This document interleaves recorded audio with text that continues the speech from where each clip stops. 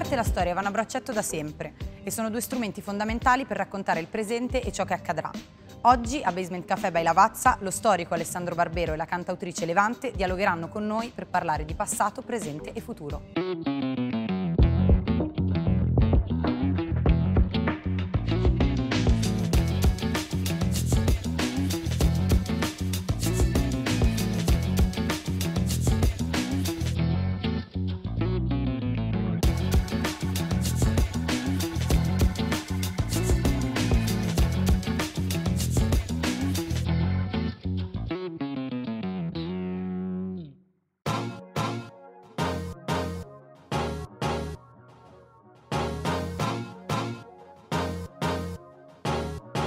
Ciao Alessandro, ciao, ciao Claudia. Ciao, ciao. Ci possiamo Pugnetto. solo... Ciao. Sì.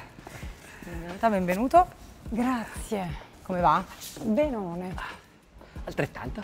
Rompo il ghiaccio chiedendoti qual era il tuo rapporto con lo studio della storia quando andavi a scuola. Eh, ma il rapporto con lo studio della storia è molto bello, nel senso che io sono sempre stata una studente curiosa, però mh, anche una studente smemorata e quindi eh, la fatica del- dell'imparare le date e ricordo questi professori molto ossessionati dalle date, quindi che cosa è successo in quel momento. E quello, quello mi faceva un po', mi frenava un po', però per il resto eh, scoprire il passato e, e ritrovarlo nel futuro è sempre stato un, un mio pallino. Quindi a scuola con la storia è, è stato bello. Poi non nego che appunto per questa pretesa di dover imparare in un determinato modo, no, c'era questa, veramente questa fissazione della data, quando invece secondo me il professore doveva essere più attento a far capire le circostanze, eh, gli sviluppi di un de- di una determinata vicenda.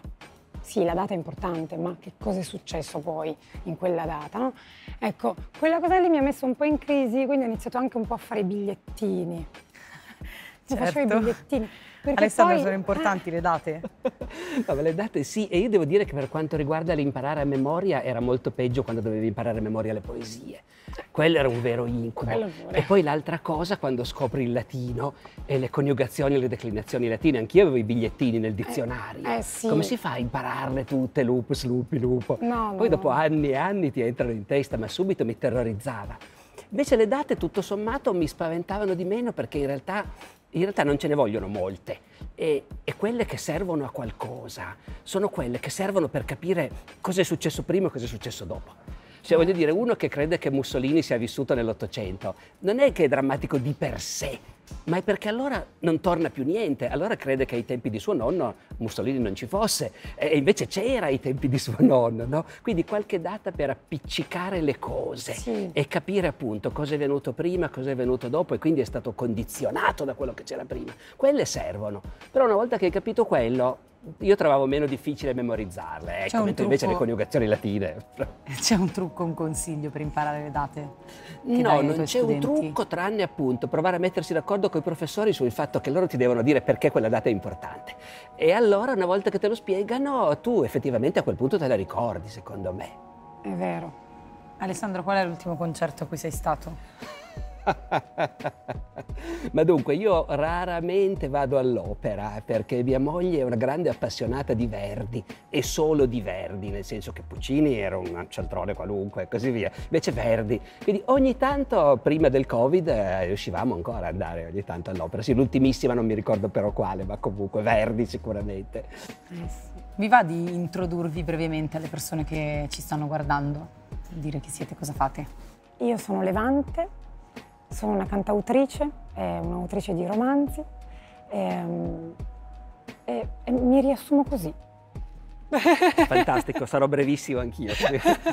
Io sono Alessandro Barbero, sono uno storico e anch'io a tempo perso autore ogni tanto di romanzi, proprio come Levante, ma in realtà il nostro vero mestiere è un altro. Esatto. Eh, quindi non ci definiremo mai scrittori, No, no, facciamo altro e ogni tanto facciamo dei romanzi. Siamo chiacchieroni, siamo dei chiacchieroni, no? Ci Io, piace sono, poi tanto scrivere. io quando sono tranquillo per conto mio non parlo mai, in No, generale. però io- Però, eh, mi- invece mi- sì, di mestiere tocca. Mi, mi descrivo chiacchierona proprio nella scrittura, no? Per cui eh, sono andata oltre la canzone perché non mi bastava la forma canzone e quindi ho scoperto il romanzo, che è anche un mondo dove puoi anche inventare, no? Io riesco a inventare chi non sono, chi vorrei essere, chi sono stata, che non sarò mai.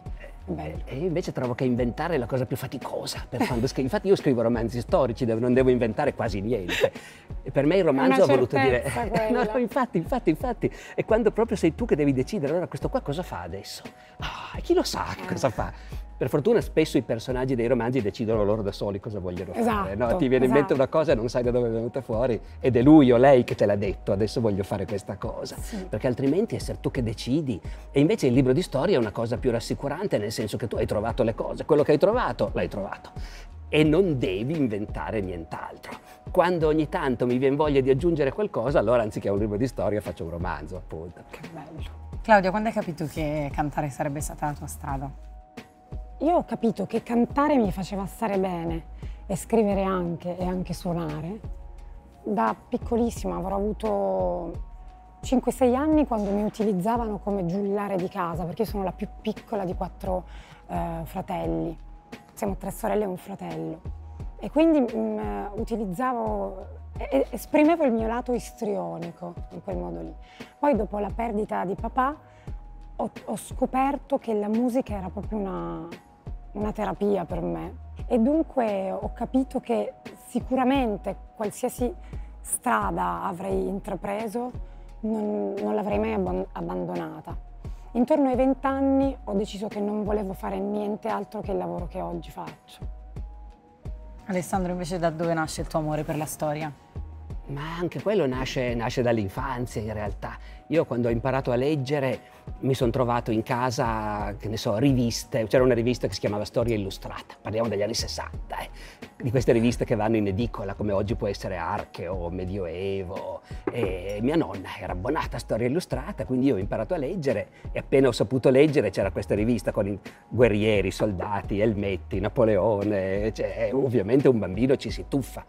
In più giocavo a soldatini, fabbricavo modellini di aeroplani, di carri armati, queste cose qua. E per me era un'unica cosa. Infatti io per tanto tempo da ragazzino ero innamorato della storia militare, quello era quello che mi piaceva. E so che ho un netto ricordo di me che da bambino copio su un quadernetto un articolo di storia illustrata su una qualche battaglia navale pensando che anch'io sto scrivendo un articolo di storia. Ecco, quindi, poi col tempo ho capito che era un po' più difficile di così, però in sostanza fin da bambino, quando ho avuto le prime paghette, mi compravo lì, beh, anche fumetti, ma di nuovo gli anni 60 sono lontanissimi. La seconda guerra mondiale era molto vicina. In edicola era pieno di fumetti che raccontavano storie di guerra tutti tradotti dall'americano, dall'inglese, per cui i buoni erano sempre gli inglesi, gli americani, i cattivi erano i giapponesi, i tedeschi, gli italiani non c'erano per fortuna, per misericordia non li mettevano, ma se no mi compravo libri di storia, uno dei primi libri che ho comprato in vita mia era su Napoleone, avrò avuto dieci anni, un tascabile naturalmente, 350 lire, ce l'ho ancora sul comodino quel libro lì. Quindi volevo chiedervi che cosa avreste fatto se non quello che fate, ma mi sembra che siete due persone che hanno da sempre la passione per quello che fanno. Sì, Vi siete mai chiesti che cosa avreste saprei, fatto? Non saprei immaginarmi altrove. Eh, ho provato, dopo, dopo, il liceo linguistico, io ho provato a fare l'università. E all'inizio, spinta da, dalla mia sorella più grande, ingegnere gestionale, a fare qualcosa di certo, mi diceva Claudia, ascolta, bella questa cosa della musica, ma se poi non succede, che cosa ti salverà? Trovati qualcosa di sicuro e poi nel frattempo continui la tua strada con la scrittura, la musica, eccetera. Ok, e mi scrivo a economia. Dopo due mesi di economia ho detto grazie, è stato bello, io torno a fare le mie cose e passo a lettere moderne. Lettere moderne, frequentata per tre anni, tutto bellissimo, il mio mondo fondamentalmente, perché materie umanistiche, che ho sempre amato, però ero inconcludente. Mi sono data un'altra chance con psicologia e l'ho sottovalutata perché si tratta di una materia scientifica. E allora, allora alla fine ho detto mi butto a capofitto in questa incertezza che è la musica e sono riuscita, ma davvero, guardandomi indietro io non saprei essere qualcun altro, non, non potrei immaginarmi in altro modo.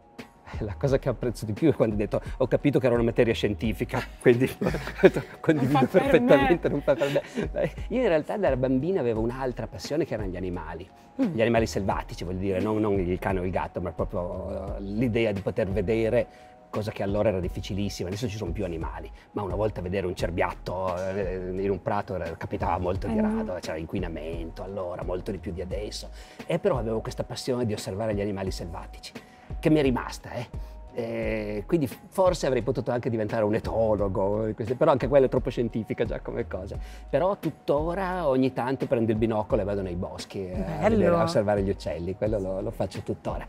E, guarda, dico ancora questo perché in realtà ho avuto un'oscillazione al liceo perché un amico carissimo compagno di scuola, bravissimo, primo della classe, uno, vabbè, ehm, lui voleva fare il linguista e mi ha fatto leggere i primi libri di linguistica, Saussure, eh, Sapir.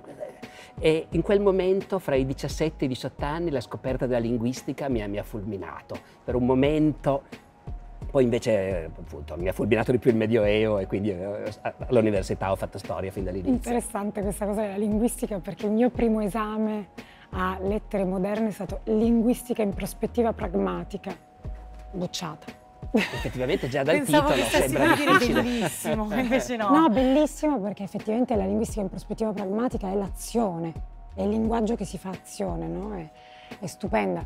Però non mi esprimevo in maniera scientifica. Lei mi disse ritorni la prossima volta. Ma no, la prego, studiato tantissimo. Mai più tornata. Mai più, spoiler. Eh. Mai più spoiler, è finita così, è finita così. Vi faccio vedere un film che attraverso la storia di tre famiglie della periferia romana racconta il nostro tempo. Un po' di utilità. Ho fatto la prima lezione gratuita, no?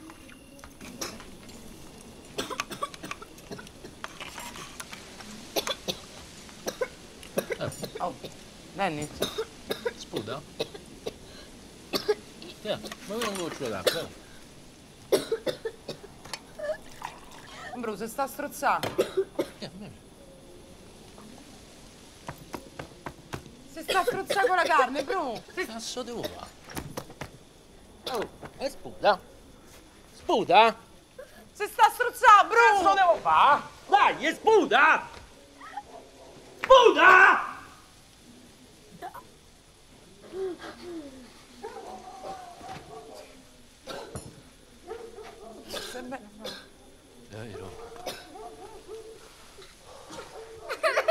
No, stai buona.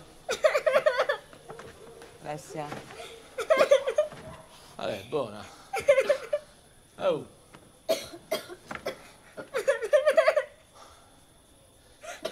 Oh, non è successo niente, dai.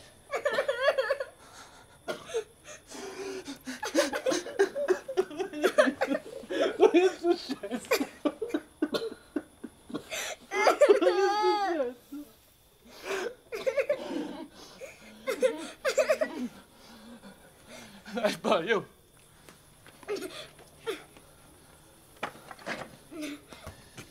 Dai, io, mi fate incazzare? Mangiamo?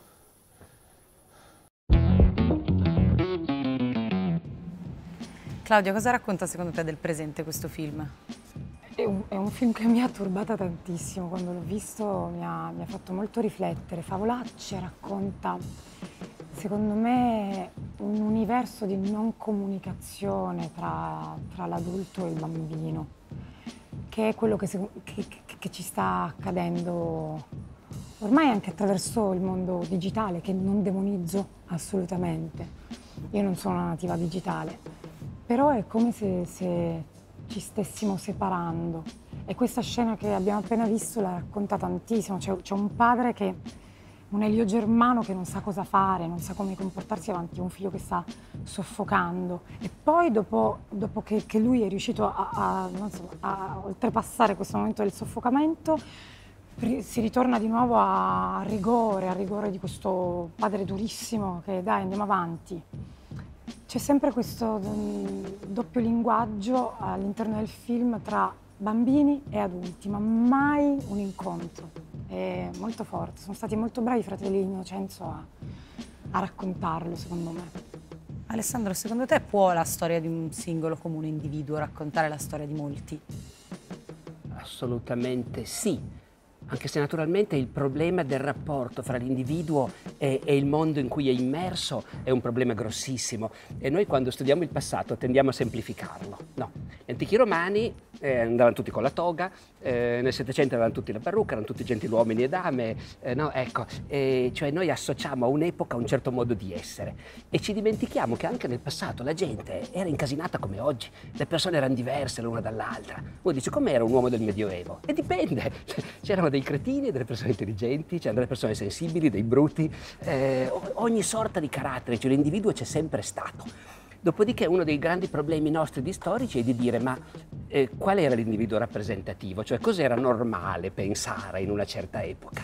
Perché quella è la grande differenza tra le epoche, no? Cioè anche tra i tedeschi del, del tempo di Hitler c'erano persone che non odiavano gli ebrei, eh, però la maggior parte li odiavano invece perché gli avevano insegnato quello. Quindi c'è sempre questa dinamica no, fra l'individuo che può scappare da tutte le parti e quello che però è considerato normale dalla maggior parte della brava gente che non va oltre il suo naso e ripete le idee che gli hanno insegnato a casa, a scuola, eccetera. Claudia, tu quando scrivi hai bisogno che passi del tempo o puoi scrivere di qualcosa anche appena è successa? Io quando scrivo musica ho bisogno di ehm, essere mh, mm, tempestiva nel raccontare mm. l'emozione che sto vivendo. Non ho margine di invenzione con la musica perché è il mio diario segreto, poi lo lascio leggere a tutti però è quel modo che ho di, di salvarmi da, dall'emozione o addirittura di cristallizzarla. Ecco perché con la musica eh, sento la necessità della totale sincerità. Con i romanzi posso anche lasciare sedimentare, anzi lasciando sedimentare eh, determinate emozioni, a volte si è anche molto più profondi, consapevoli, meno approssimativi. Sì, però come dice, io lo capisco anche la cosa di scrivere appena le cose succedono e sono fresche perché io che ho scritto due romanzi che ero molto piccola, adesso non so nemmeno se li leggerei perché è, è, stranissimo per me, però contemporaneamente sapere che ho fermato quelle cose in quel momento è molto bello perché potrò andarmele a rileggere sempre, saranno esattamente sincere per il momento che stavo vivendo. Sì, una fotografia di quello che eri in quel momento lì, quindi sì. Dico che sono tipo i miei tatuaggi che magari ora rifarei diversamente, però comunque che hanno un significato che mi piace portarmi dietro. Secondo voi è più difficile fare i conti con se stessi o con quello che ci accade intorno? Prof.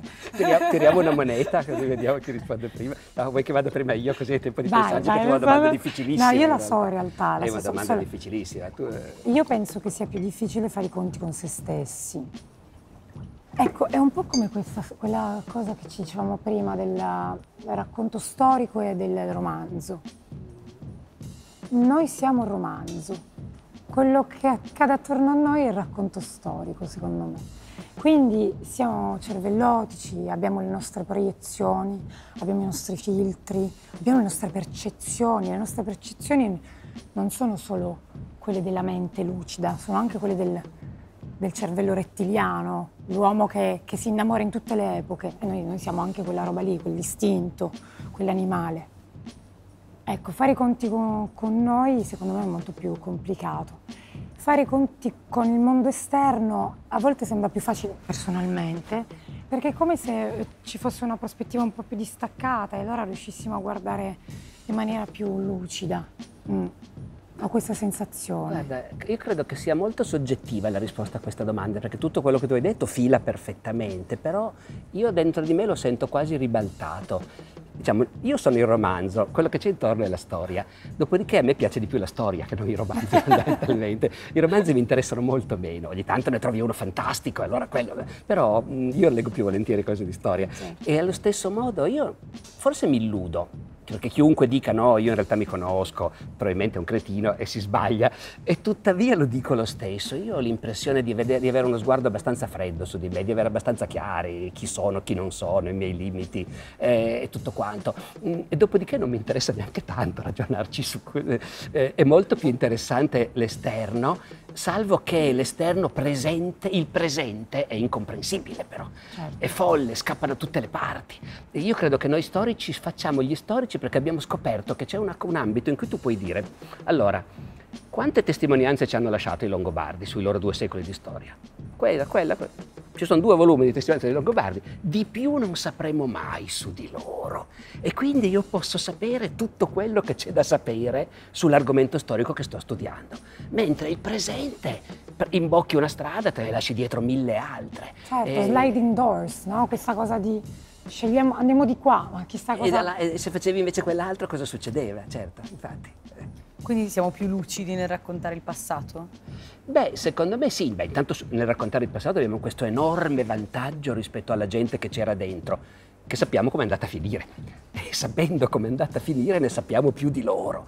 Infatti una delle cose difficili quando fai lo storico non è tanto ricostruire la trama degli avvenimenti, la concatenazione delle cause, degli effetti, quello ci arrivi.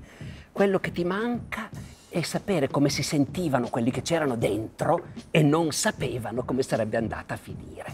E, e, la grande cosa per uno storico è quando hai l'impressione di essere riuscito invece a rendere l'idea di quello.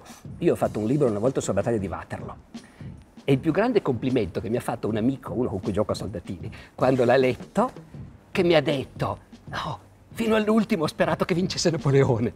Se tu riesci a scrivere la storia in questo modo, senza far vedere che sai già come è andata a finire, allora eh, insomma quello vale la pena di provare. In che epoca avreste voluto vivere? Non vale il Medioevo. No, no, no, ma io mai, mai, poi mai vorrei vivere nel Medioevo, stai scherzando? No, io, io nel voglio... Medioevo, io non saprei, non saprei esattamente in che epoca avrei voluto vivere. Mi sembra, mi sento abbastanza fortunata in questa, devo dire, perché nonostante tutti i difetti del, eh, degli anni che stiamo vivendo, siamo dei privilegiati. Poi stiamo vivendo nella parte più fortunata del mondo e quindi in questo mi sento... No, no, per, però se devo scegliere davvero forse gli anni 60, ma per, la, per l'arte, per la musica, per i Beatles, per, per quel sentimento di, di, di, rivoluzione dal punto di vista economico, artistico, sociale, rimettere tutto in ballo, forse per quello. E pensa che io negli anni 60 c'ero, ma ero bambino e non mi sono accorto di niente. Non mi sono accorto dei Beatles, non mi sono accorto del 68, ero immerso nel mio mondo, leggevo il Corriere dei Piccoli, andavo a scuola e non mi sono accorto di niente. Però hai ragione tu, cioè... Mh, noi abbiamo avuto una fortuna gigantesca a nascere in questa epoca all'ingrosso.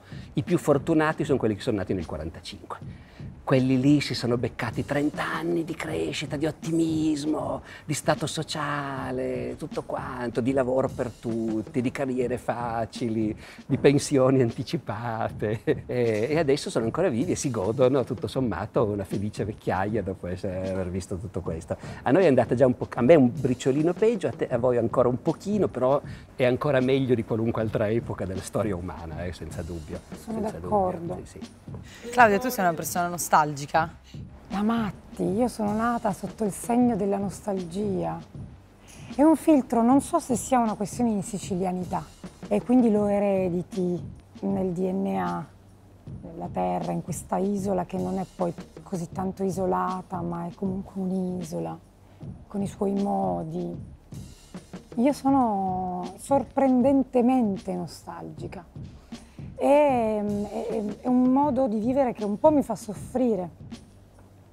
Però è stata la, la mia benzina per tantissime cose, slancio creativo di canzoni, musiche, pensieri.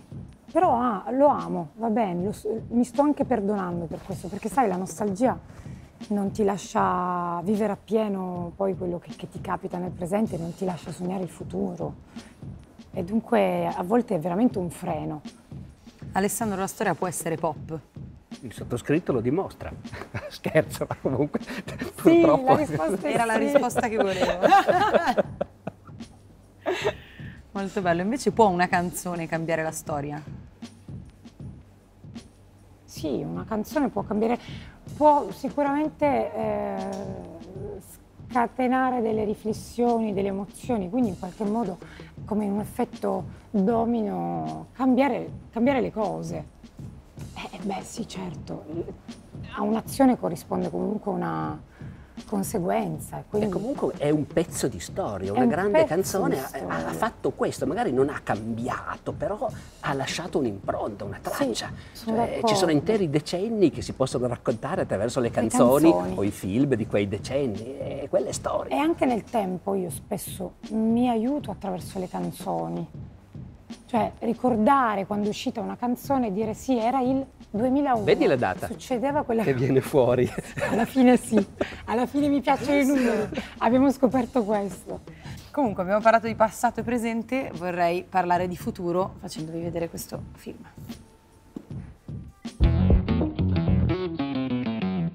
Allora, che mi dici di quelli? Descrivimi la coppia lì in fondo.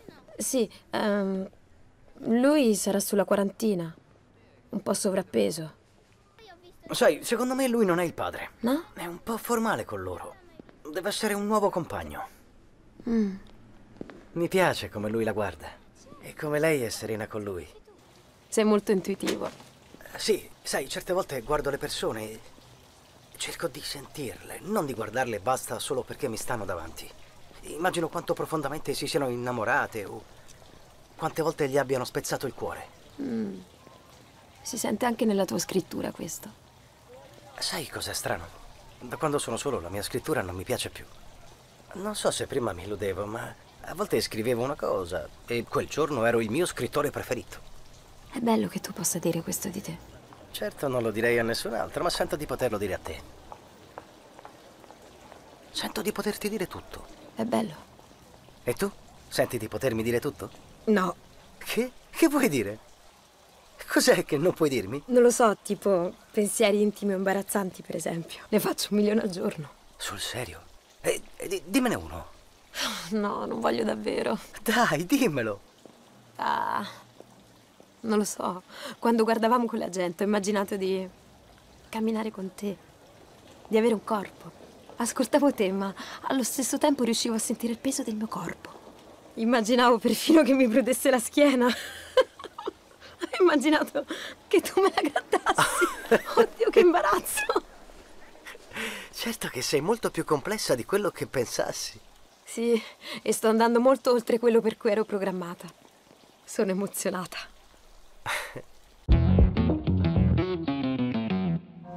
Claudia, ti spaventa l'idea che potremmo innamorarci della sorella maggiore di Siri a un certo punto?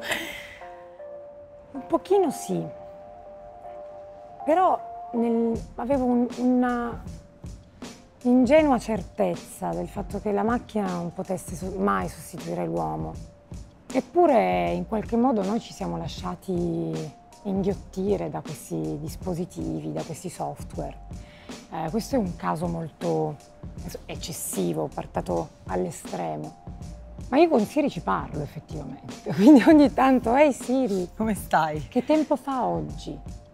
E lei mi risponde, ho comunque una sorta di contatto. Noi siamo nella preistoria del digitale, secondo me, quindi perché non immaginare che dieci anni fa era impossibile parlare con Siri nella nostra testa, cioè almeno nella mia, non avrei mai potuto immaginarlo. Oggi lo faccio.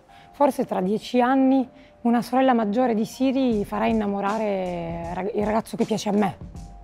Eh. Però che cosa poi verrebbe a mancare? Non mi spaventa questa cosa del della macchina e che verrebbe a mancare una cosa fondamentale che poi c'è nel film, cioè questo software è stato creato su misura per il protagonista.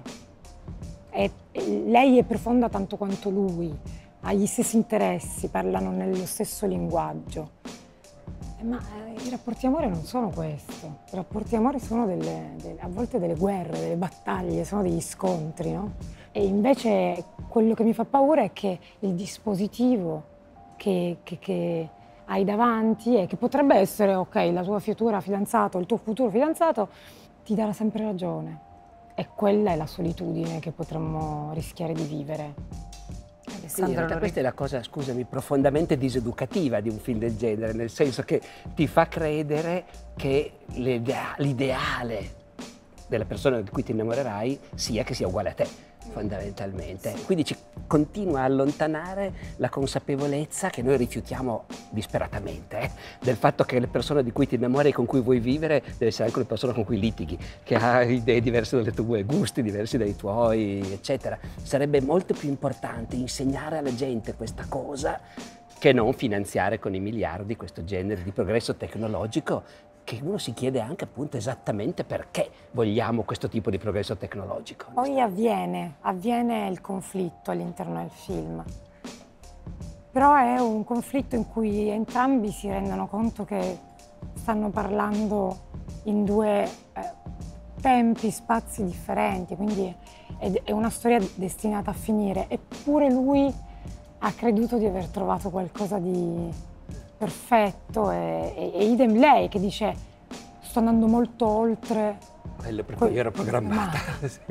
sì. poi scusami, dato che tu hai detto manca, manca, anche qualcosa di molto importante, in effetti manca anche qualcosa di molto importante, eh, che magari sarebbe meglio che quello ricordarselo. Manca il corpo, quindi questa è la mia, la mia certezza, la macchina non sostituirà l'uomo.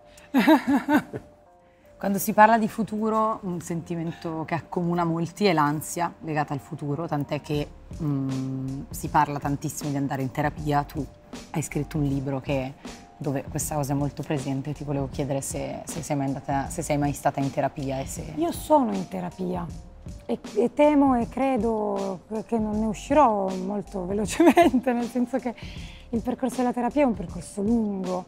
L'ansia che che in qualche modo oh, mi ha un po' sempre accompagnata, nell'ultimo periodo si è acuita in maniera prepotente la solitudine della, della quarantena, del lockdown, del primo lockdown. E, ehm, e poi la mancata libertà e, e, mille altre cose che, certezze, sicurezze che, che invece sono venute a crollare. E anche il bello della vita ti sorprende in questo modo. E quindi ho deciso di affrontare il, il, percorso terapeutico perché in questa solitudine sono venuti fuori tantissimi aspetti di me che non erano risolti, una bambina irrisolta e allora per, per impegnare benissimo le tue energie, per, per, non sprecare il tempo che hai, che è poco, perché noi abbiamo poco tempo su questo. È un tabù nella società, secondo te? Non lo è del tutto, ma non è ancora compreso. Noi siamo impegnati a uh, allenare il corpo, ad allenarci per essere belli, prestanti, per rimanere degli eterni giovani. E va bene, ci sono anch'io dentro e va bene così. Però eh, la palestra della mente è una palestra fondamentale, è quella che decide tutto di te. E quindi eh, riuscire a sdoganare questo silenzio e questo tabù è fondamentale. L'ho fatto attraverso il romanzo e questo cuore non mente, era importante. Tra le varie ansie legate al futuro c'è quella di eh, trovare il proprio posto nel mondo. Ti volevo chiedere se secondo te le scuole in questo senso possono aiutare oppure se l'idea di diventare degli esseri umani eh, produttivi che funzionano annichilisce la genuina ricerca di se stessi. Beh, oggi il rischio è quello, cioè poi è un rischio che si è già materializzato, non è neanche un rischio cioè l'idea che l'unico scopo per cui si va a scuola è di trovare il proprio posto come produttori eh, all'interno dell'economia. Il che, come dire, se lo aggiungi al fatto che poi una volta che esci dalla scuola scopri che nessuno ti vuole invece e che il tuo posto non c'è per niente e, e si continua ad alimentare l'idea che se la scuola fosse più capace di star dietro alle esigenze del mercato allora invece magicamente tutti lavorerebbero, cosa che palesemente è falsa, cioè il nostro sistema economico è fatto per avere una percentuale altissima di disoccupati. No? Ecco. E quindi sì, in questo modo si crea un'ansia costante mentre invece forse se si fosse di nuovo capaci di dire che ovviamente è importantissimo trovare un proprio posto nella società, nella vita e nel lavoro, ma è anche importantissimo fare i conti con se stessi e avere una testa aperta per capire come è fatto il mondo dentro cui sei nato, ecco che la scuola quello deve fare innanzitutto. Lo so che sono delle banalità perché tanti intellettuali lo ripetono, però lo si ripete nel nulla perché invece chiunque possa decidere è prigioniero di quest'altra prospettiva. Se si desse più spazio alle materie artistiche, a musica, eccetera, come potrebbe cambiare il futuro secondo te? Più spazio all'interno della scuola, dico. All'interno della scuola è fondamentale. Io stu- studiavo musica effettivamente ed era è uno spazio di libertà che, di creatività che a scuola non ci viene insegnata. È quella cosa per ritornare alla storia delle date, imparare a memoria, il voto, questa cosa di dire 9, 10, 8, tu sei un 7. A me quelle robe mi fanno impazzire. Ecco, insegnare a, a, allo studente, al ragazzo, che esiste un mondo di libertà, di creatività, di espressione, è, è fondamentale l'arte. Per me l'uomo senza arte è solo un uomo. È solo un uomo. L'uomo con l'arte si avvicina a, a Dio si avvicina al cielo, si avvicina a qualcosa di più alto, di, cerca di, di, innalzarsi con l'arte l'uomo. Secondo me dovremmo, dovremmo insegnarlo ai ragazzi a scuola e approfondire queste materie. Alessandro, qual è la più grande storia d'amore di tutti i tempi per te? Ah, eh, bah, valgono anche quelle inventate, quelle immaginarie, la fiction, sì, è allora quella del maestro di Margherita, nel romanzo di Bulgakov. Quella è la più grande storia d'amore mai raccontata, secondo me. Con questi due amanti separati, separati, perché siamo a Mosca negli anni 30, è sotto la dittatura di Stalin, anche se la dittatura non si vede, perché il romanzo non parla di quello, parla di vite private, però in realtà si capisce che c'è dietro. E loro, eh, naturalmente, è una coppia illegale, lui è un po' fuori di testa, è un grandissimo scrittore, un po' fuori di testa, e lei, e lei è sposata con un altro, ma che non ama, con uno qualunque, e poi si incontrano, lui vive in questo scantinato, in un seminterrato di una villetta, dove ha questa stanzuccia, eccetera, e, e, lei, e lei, lo va a trovare da lì, e loro vivono questo amore, e poi, e poi a un certo punto sembra che vada tutto a finire molto male, perché lui veramente va davvero un po' fuori di testa, anche perché lui è, è, un è, uno scrittore che non riesce a pubblicare. Eh, e lì Bulgakov parla anche appunto di, di, lui e dei suoi colleghi, la fatica che si faceva per far passare un romanzo, senza, rischiando sempre di finire invece in campo di concentramento. E lui alla fine va fuori di testa, finisce in clinica psichiatrica, lei non, non sa neanche dove è finito, non sa niente. E, e poi in tutto questo... In tutto questo Satana arriva a Mosca con l'idea di mettere sottosopra Mosca eh, con una serie di aiutanti fantastici, un gatto parlante. Cioè, di colpo il romanzo realistico diventa un romanzo fa- fantasy. E il diavolo a Mosca, fra mille cose che ha a che fare, ha anche bisogno di una che gli faccia da regina quando darà una grande festa per tutti i defunti che verranno fatti. E becca questa Margherita e lei e la manda a prendere, eh, sulla scoppa naturalmente, la trasforma in strega, e la manda a prendere e le dice accetta di fare la regina al mio ballo e, e e le dice se, se si accetta avrà una ricompensa, potrà chiedere una cosa, qualunque cosa voglia, una cosa, io gliela darò. E, e lei accetta e fa questo lavoro faticosissimo di fare appunto la regina in un ballo in cui è pieno di vampiri, di mostri, di lupi mannari, di delinquenti del passato, che è pieno di dannati questo ballo. C'è una ragazza che è all'inferno perché è rimasta incinta, ha ucciso il suo bambino, non era sposata e all'inferno le portano tutti i giorni il fazzolettino con cui lei ha strangolato il suo, ha soffocato il suo bambino. E Margherita, quando finalmente le dicono adesso, adesso può chiedere una cosa. E Margherita non ce la fa a chiedere ridatemi il mio, il mio amante, non ce la fa e dice voglio che non portino più a Frida il suo fazzoletto. E, e Satana dice, mm, sento puzza qui dentro, sento puzza di compassione. Però, però ho promesso, quindi va bene, ma io queste cose non le faccio, lo faccia lei. Eh, chiami pure Frida. Eh, Margherita chiama Frida, Frida arriva, nuda, tutti nudi, disperata, e, e dice Frida, non ti porteranno più il fazzoletto. E, e a questo punto Margherita si sente di colpo stanchissima e distrutta e chiede di tornare a casa e Satana le dice, un momento, io avevo detto che lei poteva chiedermi qualunque cosa, io l'avrei fatta. Io non ho fatto niente. Quindi ha ancora diritto di chiedere una cosa. E in quel momento Margherita di colpo dice voglio che adesso, subito, in questo preciso momento, mi riportino qui il mio amante, il maestro, mi si è soprannominato il maestro. E in quel preciso istante lui compare lì. La cartella clinica, la clinica è cancellata, lui non c'è mai stato in clinica, lui ricompare lì. E poi lui però è, è fuori di testa e, e, e, pieno di un dolore e Margherita cerca di capire, eh, lui aveva scritto un grande romanzo e poi l'aveva bruciato perché non riusciva a pubblicarlo e quindi lui ha dentro questo dolore e non riesce a guarire questo dolore. In quel preciso momento quindi Margherita guarda Satana e, e Satana dice ma cos'è questa storia? Lui, dice lui ha bruciato il manoscritto. E Satana dice mi scusi ma non è possibile, i manoscritti non bruciano. E poi si rivolge al gatto parlante e dice dov'è il manoscritto? E il gatto è seduto su una pila di copie del manoscritto.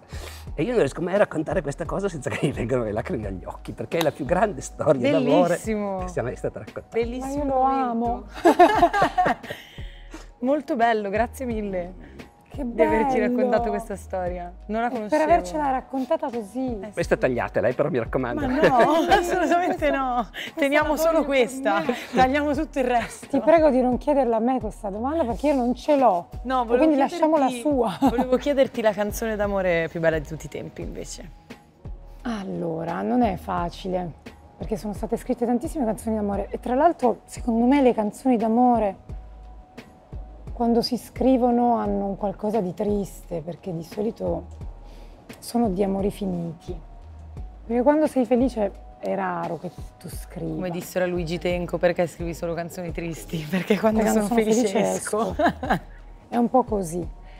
Però tra le canzoni più belle, secondo me, ecco, riesco a ricordare Senza fine di Gino Paoli.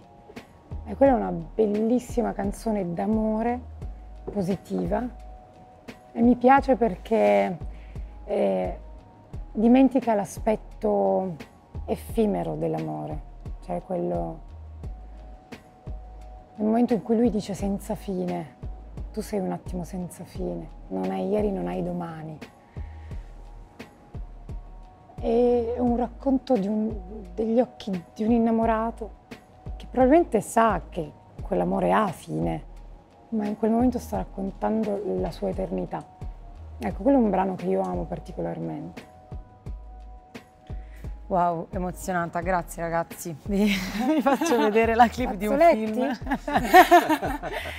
che cerca di raccontare un preciso passato, ma forse non ci riesce molto bene.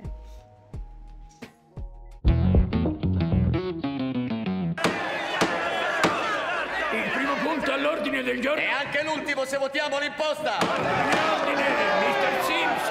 All'ordine del giorno c'è un discorso del colonnello Barwell dell'esercito continentale. Colonnello Barwell. Sapete tutti perché sono qui. Io non sono un oratore. E non voglio tentare di convincervi della bontà della nostra causa. Sono un soldato. E noi siamo in guerra. Da Filadelfia ci attendiamo una dichiarazione di indipendenza. Otto delle 13 colonie hanno decretato imposte per il mantenimento di un esercito continentale. Io chiedo alla Carolina del Sud di essere la nona. Il Massachusetts e la Virginia possono essere in guerra, ma la Carolina del Sud non lo è. Ben detto! Questa non è la guerra per l'indipendenza di una o due colonie ma per l'indipendenza di una nazione. Eh, di quale nazione si tratta? Di una nazione americana! Tale nazione non esiste e nominarla è tradimento. Noi siamo cittadini di una nazione americana e i nostri diritti sono minacciati da un tiranno che ha 3.000 miglia di distanza.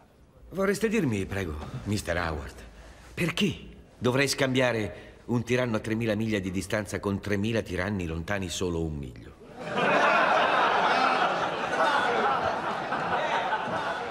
Un'assemblea legislativa eletta può calpestare i diritti di un uomo quanto un re. Capitano Martin, ritenevo che foste un patriota. Se voi per patriota intendete irato per la tassazione senza rappresentanza, beh sì, lo sono. Se credo che le colonie americane debbano governarsi indipendentemente, sì, sono convinto che possano e che debbano. Ma se voi mi chiedete se sono disposto a entrare in guerra contro l'Inghilterra, beh, allora la risposta è decisamente no. Alessandro ci hai confessato che questo film pieno di scene a rallenti in realtà non racconta proprio molto bene quel periodo, come mai? No, questo non è film. The Patriot, con Mel Gibson, beh, la scena che abbiamo visto non aveva niente che non andasse, eh, ma ehm, ha un difetto molto specifico questo film, che è anche abbastanza frequente in realtà nei film che raccontano il passato. Eh, si propone di raccontare delle atrocità perché in effetti in certi momenti la guerra tra gli Stati Uniti e la guerra di indipendenza degli Stati Uniti ha conosciuto anche quelle che all'epoca erano considerate atrocità, mh, tipo fucilazione dei prigionieri nemici, perché come dire, in tutti i tempi quelli che considerano che chi gli spara addosso non sono soldati regolari, ma eh, appunto sono dei civili armati, si ritiene di avere il diritto di fucilarli, no? ultimi i nazisti con i partigiani. Ecco, queste cose succedevano anche allora. Ma siccome Mel Gibson di solito non si accontenta di così poco, allora ecco che i malvagi, che sono gli inglesi, qui sparano in testa ai bambini, chiudono la gente nelle chiese, poi appiccano il fuoco, eccetera. Risultato, uno dice, ma allora non erano solo i nazisti che hanno fatto queste cose, ma allora sono sempre successe, no? Ecco, e questo secondo me è un messaggio grave, nel senso che credere che le atrocità, in ogni epoca si siano commesse atrocità, eh, le stesse, ecco, significa cred- appunto dimenticare che noi nel Novecento siamo riusciti a fare delle cose che invece nessuna epoca eh, si era mai sognata di fare. Qual è invece un film che consiglieresti a Claudia di vedere? Consigliare i film è una delle cose più difficili del mondo. Anche Io... perché non conosci i miei gusti, quindi e, e, non vorrei sbagliarsi Alessandro. e anche con le persone di cui dovrei conoscere i gusti. Lo chiederò anche a te se vuoi iniziare già a pensarci qual è un film che No, però diciamo, mi avete messo in una situazione protetta, stiamo parlando di film che raccontano la storia. Beh, un film che racconta il Settecento eh, e le rivoluzioni del Settecento in un tutt'altro modo rispetto a questo è Il mondo nuovo di Scola tra l'altro con un grande cast, c'è Mastroianni eh, ed è Anna Shigun, insomma comunque racconta eh, un, l'inizio della rivoluzione francese, la, la, fuga del re a Varennes eccetera, con tutta una serie di personaggi, Mastroianni rappresenta un vecchissimo Casanova, ormai in disarmo perché è invecchiato, però è ancora vivo, eh, e, e, quello è un film di una finezza straordinaria e quindi insomma ecco. Mm. Quindi adesso tocca a me, Pare ma sempre sì. nell'ambito storico, no? No, no? no, perché è troppo facile se no. No, un film eh, che ti piace ma a te. Un film che io consiglio ad Alessandro Barbero è Nocturnal Animal. È ah, molto bello, una storia visto. molto dolorosa, Peso. però c'è un, c'è un racconto sovrapposto molto bello tra passato e presente, tra finzione e realtà, perché si tratta di un, uno scrittore che nello scrivere insomma, di, questa, di questa storia vive in prima persona uh-huh. la storia che sta scrivendo e c'è questa sorta di eh, sdoppiamento molto bello, molto intenso. Poi ce ne sono altri molto più eh, leggeri ma che io una volta al mese riguardo sempre. Tipo? Lost in Translation, Sofia Coppola, per me, io adoro quelle robe lì. Ce ne sarebbero altri, però questi due forse sono quelli che in questo momento... Lost in Translation l'ho visto, non so se lo rivedrei tutti i mesi, però l'ho visto. so Invece non tornerei, ma non lo sapevo, non l'ho neanche mai sentito, adesso ignorantissimo. No, no, no, che ignorante. Tu invece mh, nella tua vita, esperienza da musicista, ti senti influenzata eh, dall'America? Inevitabilmente sì. Uh, noi, essendo anche un un paese molto piccolo, musicalmente ci lasciamo tanto ispirare. È vero che abbiamo una forma eh, tutta nostra di cantautorato e di grande poesia che all'estero ci invidiano. Però soprattutto negli ultimi anni per l'Italia, per la discografia italiana è stata, italiana è stata molto più facile eh, in qualche modo essere il riflesso di, di un'immagine che, che, arriva da, da fuori, dall'estero. E ci sono delle cose per cui è bello lasciarsi influenzare e non mi ostino a mettermi di traverso e dire no, io questa cosa non ci cadrò. Ci sono delle altre che secondo me vanno preservate. Eh, perché, perché è un po' come lasciarsi scrivere addosso una storia non tua e tu devi scrivere la tua di storia. E allora il fatto della contaminazione può essere un buon compromesso. Ma bisogna stare attenti a non, non essere poi macchiette di qualcos'altro. No, infatti noi oggi siamo in bilico fra essere italiani e essere nel mondo. Ed è molto difficile riuscire a fare entrambe le cose.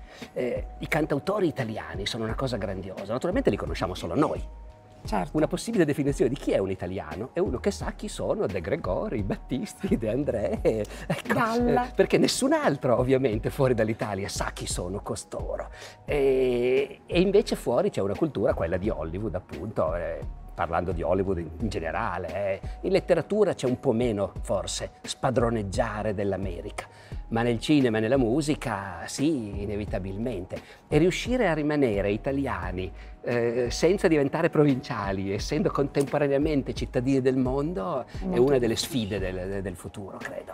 Come è cambiato il ruolo e la considerazione di chi fa musica nel corso del tempo? Beh, è cambiato molto.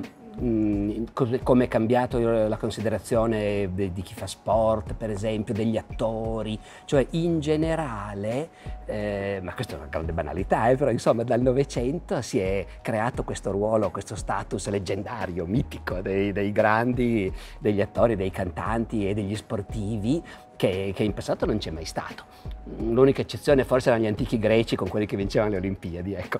Però gli antichi greci, quelli che gareggiavano alle Olimpiadi, erano tutti ricchi, erano tutti nobili, persone comunque che avevano già alle spalle, mentre l'idea che uno che eh, viene da una posizione sociale qualunque, che non è nessuno, ma che è bravissimo a fare una di queste cose, non è soltanto uno, come dire, stimato e pacche sulle spalle, ma diventa l'idolo di tutti ed è molto più importante di un gran signore o di un ministro o di un principe, ecco, questa è una cosa soltanto del nostro mondo. Prima non c'è mai stata. Chi faceva musica ha sempre avuto un ruolo, un riconoscimento, però non diventavano dei divi, ecco. Questo invece è una cosa Una creazione dell'oggi. del Novecento, diciamo.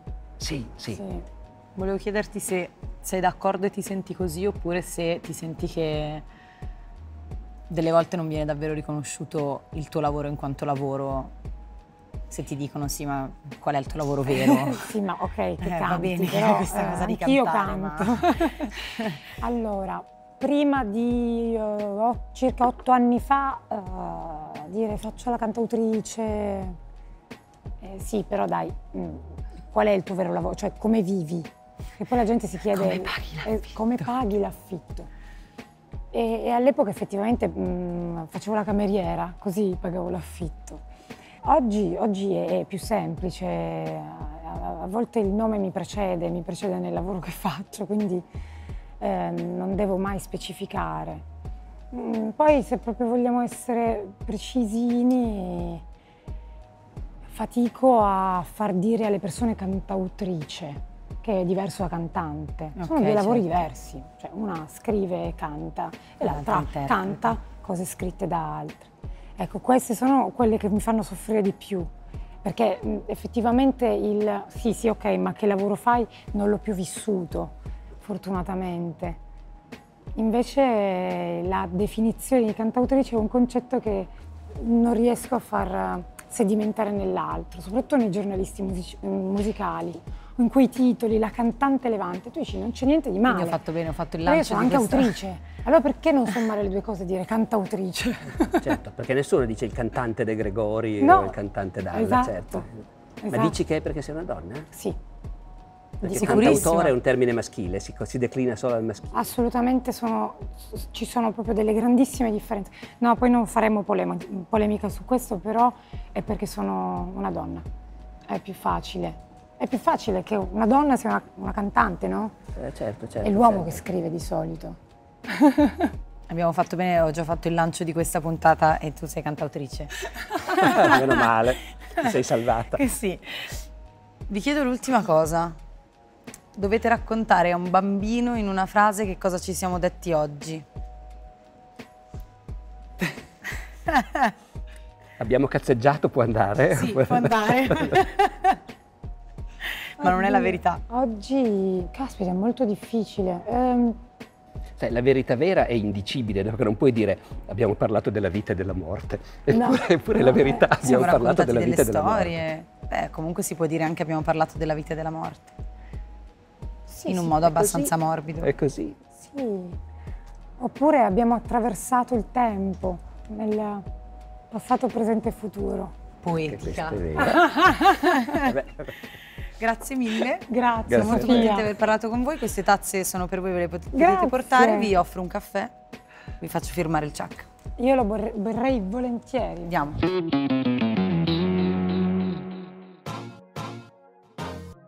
Voi volete caffè caldo o freddo? Io non lo prendo, grazie. Lungo. Sì, avete mantenuto la promessa. Cosa ti avevano promesso? A me non mi hanno promesso niente. che mi No, poi due siete stati bravi. Diceva, non mi avete messo in difficili. Ma Io non ho studiato. Davanti al prof io, io Eh, questo è il piacere. è stata una bellissima lezione, veramente una bellissima lezione. Una cosa che ho fatto di recente, non tantissimo, ma qualche volta, è leggere ad alta voce. Bello, alta io lo voce. facevo da ragazzina perché manco di concentrazione e il- leggere ad alta voce mi mantiene eh, presente Sì, alla lettura. a tenere il focus. Infatti è figo. Sai che nell'antichità leggevano solo così? Cioè, quarto o V secolo hanno cominciato a scoprire che si poteva anche leggere a bassa voce, cioè in silenzio. E c'è un passo di Sant'Agostino che trova San Girolamo, che è più vecchio di lui, e lo vede che sta facendo una cosa strana. È lì con un libro e non si sente niente. E Agostino gli chiede che cazzo stai facendo? E lui dice, "Io sto leggendo. Leggo per i fatti miei. Esatto, esatto. Leggo nella mente. Grazie mille dei caffè. Grazie a voi, grazie a voi. E grazie mille a voi. Grazie, grazie, grazie. grazie.